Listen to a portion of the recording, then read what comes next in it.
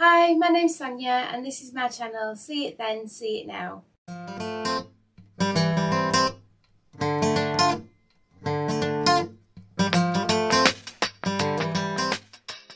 Before we get into today's video, I just wanted to say a huge thank you to everybody who watched my last video. Thank you for those of you who subscribed and I really do appreciate each and every one of you. The last project was a really really big one and I'm so proud of it so if you didn't see that then please do go check that out. For today's video I've been rummaging in the recycling again and I've picked a few small items that I think could be made wonderful and be made into something so much more than just popping them in the recycle bin. So let's get into what I did with them. I think the supervisor received a Christmas gift in this box and it was no longer needed so I'm just going to use one half of it for this project. The problem was that the base was too flimsy and I needed to make it a lot more sturdy so the first thing I did was cut two pieces of cardboard one to go on the inside of this tray and one to go on the outside of the tray. To separate the two parts I first tried riving and yanking at it and when that didn't work I applied some common sense and I used a knife just to bend the pieces of metal back so that the two parts just came away nice and easily. I was left with these two pieces of metal sticking out so I just bent them and got them as flat as possible using a pair of pliers. I then used some wood glue to glue the two pieces of card in place, one to the inside of the tray and one to the underneath of the tray. I'm not sure why I chose to use wood glue for this. I should imagine PVA would work as well, so I'm not quite sure what my thought process were and why I chose wood glue. But it worked. I clamped it all together and then left it to dry. This little glass bowl is from Ikea and I'm going to use this for the base of the tray. So I started by giving it a coat of Johnstone's furniture paint in cushion white and you can see there some of the other items that I'm recycling. You'll see more of them later on in the video. I'm going to decoupage this tray. So once the glue was dry and my cardboard was nice and secure I started off by painting the inside in the same white paint. I wanted to put a trim around the edge of this tray because I didn't want it to just look like a tin tray that had been painted so I started playing around with some clay moulds. I really liked this little bow and flower um, but I decided it was sticking up over the edge too much so I opted for a smaller design. Once the clay was dry I mixed up some blue and white acrylic paint and I painted all around the sides of the tray once that was dry, I painted the clay with Prussian blue and I then went over it with some silver.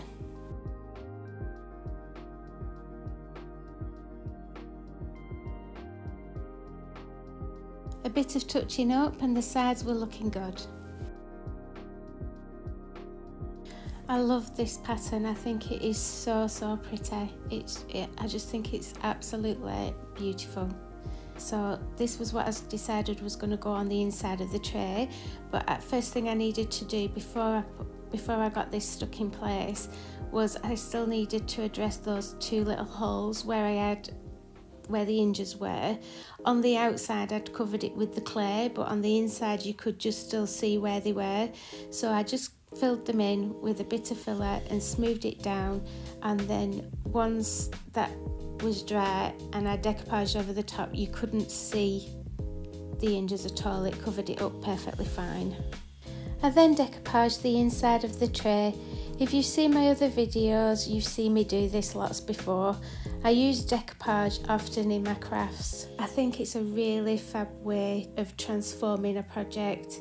You can make something that's quite plain look so pretty using decoupage and it's especially good if you're wanting to get that shabby chic look. And if you just take a little peek at the bottom of the screen, you can see my little white bowl there that I've already decoupaged.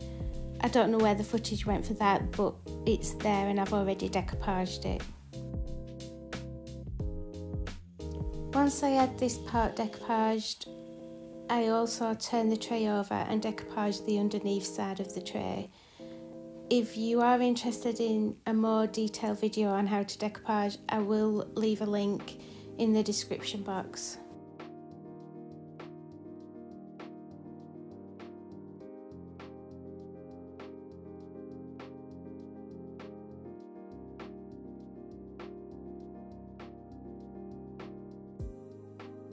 Once everything was dry and I'd sealed it with a coat of varnish, I found centre on the bottom of the tray and glued the bowl in place using E6000. And if you've seen my videos before, you'll know that I always make a complete hash and a real meal out of trying to put things in the centre and finding the middle and measuring things up. I am the worst, and this was no exception. I messed about with this bowl for a while trying to find out where I needed to glue it, but we got there in the end. And that's it for this one. Moving on to the next one. This is a Gü pudding jar and the first thing I did was paint it white. I say that, but the first thing I did was clean it and make sure it was free from dirt or grease. Actually, the first thing I did was eat the pudding and very yummy it was too. Shout out if you have a stash of these in your cupboards because they're just a little bit too nice to throw away, but you're not quite sure what you're going to do with them. In previous decoupage videos, when I've separated the plies and said that I keep the plain ones because they come in for other projects, this is one of those projects. I stamped this writing onto the plain napkin and then used it to decoupage the outside of the pot.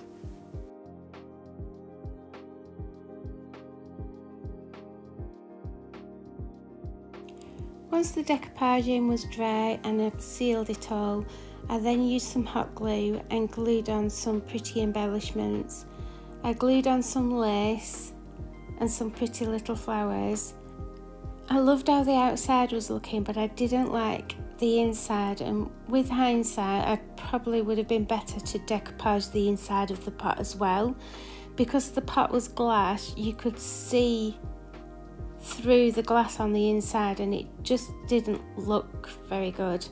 Um, but I got around it by gluing some lace around the inside edge of the pot as well and it just covered it up. Um, and then I glued some little nice little pearls around the top just, just to finish it off. And it does look really, really pretty, um, but I might have been better off decoupaging it maybe, I'm not sure. Um, but I'm really pleased with how it ended up anyway. And that was it for this one, a nice quick easy one. Um, I'm going to use it to put cotton pads in. On to the next item now and this was a bottle of body lotion. So I removed the label, gave the bottle a good clean and once it was dry I gave it a coat of the Johnstone's chalky furniture paint in cushion white. While it was drying, I jumped onto Canva and I created this little label that says hand lotion. I cut it out and glued it on. My initial plan was to put some lace around the top that was really long and that's why I positioned the label so far down the bottle. As it turned out, I ended up going down a different route anyway. I'm really pleased with how it turned out so it wasn't an issue. I'm going to place a little clay frame around the label uh, just to give it a nice finish and so I measured where the clay frame would come to just so that I could mark where I needed to decoupage to um, and work out where I wanted to place the pieces of napkin. And then it was just a case of decoupaging the rest of the bottle using another pretty napkin. I bought these little frame moulds off of Amazon and I will put a link in the description box. They're so cute. I love how this turned out, this little frame. I'm really, really pleased with it. And of course you've seen me do this before. You just squeeze the, the clay in, get the top nice and flat and then just gently ease it out of the mould. And of course I needed to get this attached to the bottle before the clay dried because I needed it to mould around the curve of the bottle. So I just popped on some wood glue and then positioned it in place while the clay was still wet. Once the clay frame was dry, I painted the whole frame with some silver gilding wax and I loved the way that this looked. I thought it looked really pretty and I just loved this little silver frame. I just thought it was super cute.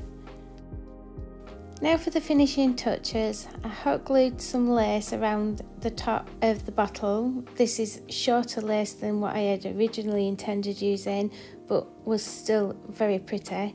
And I then popped on some flat back pearls, some blue flat back pearls, just to add a little bit of extra prettiness.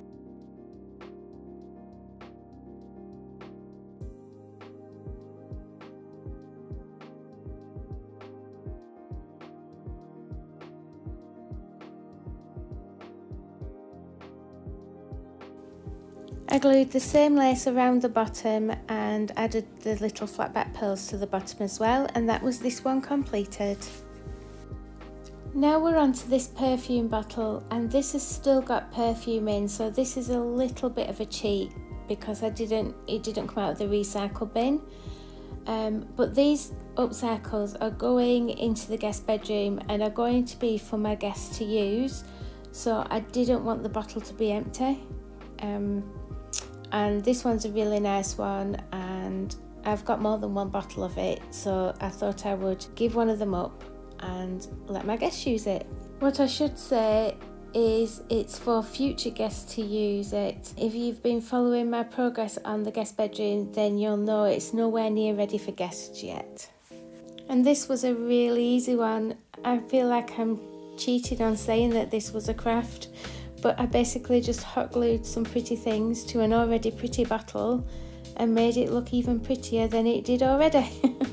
this is my favourite lace, I think it is so beautiful and it's from Abakhans and it really is my favourite one. Some more of the flat back pearls, the blue ones, I used some more of those and then I stuck some silk flowers around the top and I just used some that were left over from other projects that were just in my stash.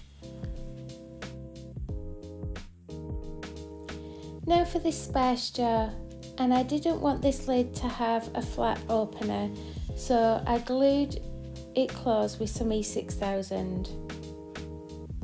I then painted it white and once that was dry I decoupaged it in the same stamped napkin that I used on the Gü pot.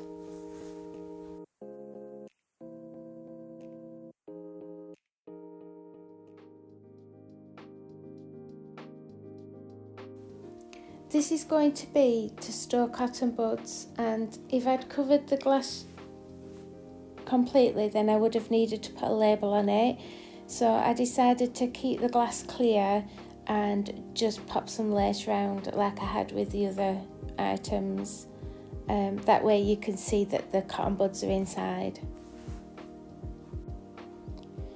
Just to keep this cohesive and along the same lines as the other items, I am after all grouping all these together on the tray, so I do want them to match to a degree. I glued some lace around the centre and added some more of the little blue pearls and some more flowers just around the centre.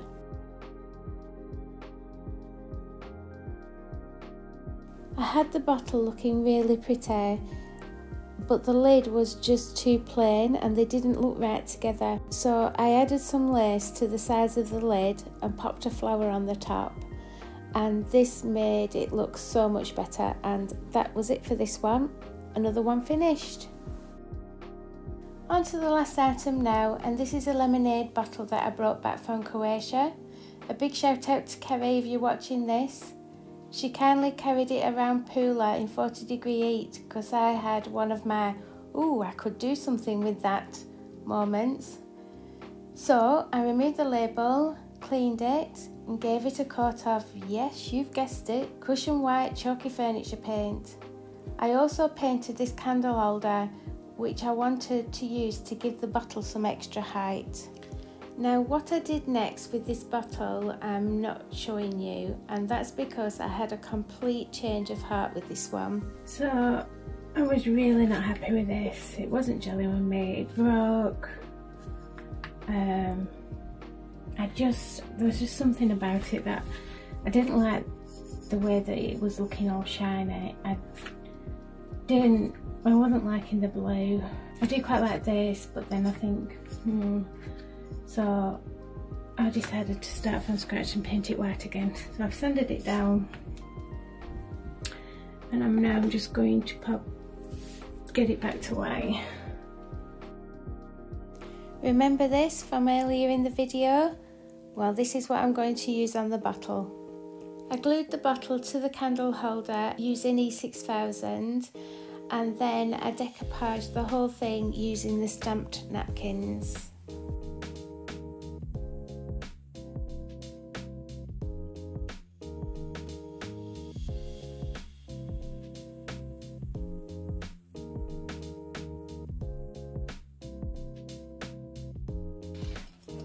Whenever I'm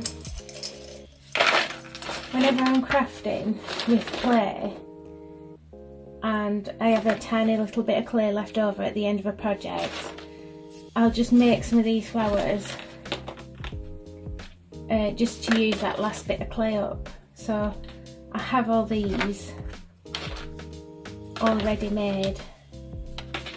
So I thought I might see if I could actually just use some of these up. I just started sticking them on. I didn't have any set thing in mind when I started. It was just a bit like putting a jigsaw puzzle together because I needed the flowers to fit next to each other and to fit with the curves of the glass.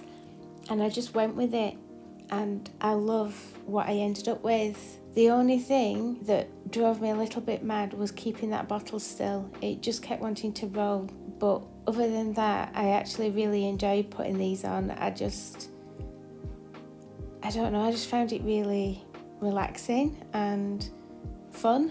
And yeah, I'm just so pleased with the end result.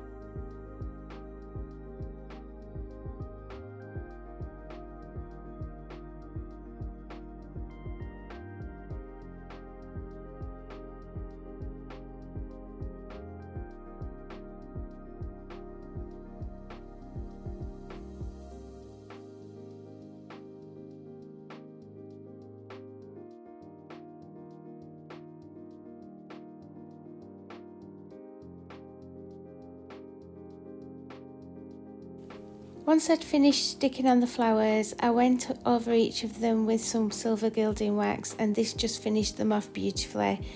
And that was it for this one. I absolutely love how this turned out. I think it is so pretty. So, so pretty. So let's have a reminder and see it then. And let's see it now.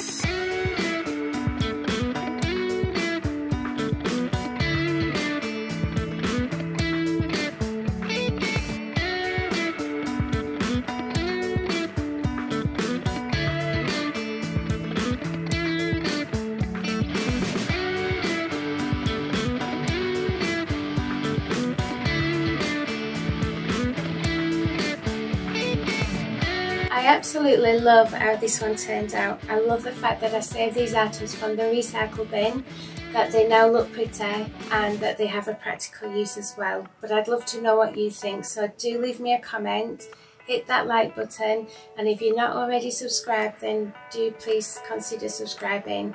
Um, it helps my channel to grow and I do appreciate each and every one of you, so thank you.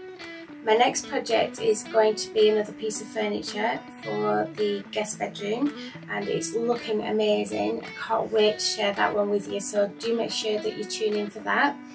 Um, you can follow me on Facebook and Instagram and I really need to go finish this project so I'm so excited about it so I'm going to leave it with leave it at that and I will see you in the next one. Bye for now.